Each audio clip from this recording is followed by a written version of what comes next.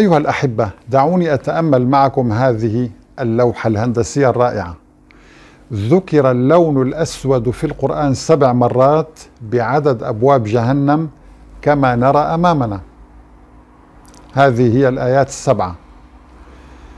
العجيب أن كلمة جهنم ذكرت في القرآن 77 مرة أي سبعة مضروبا في أحد عشر.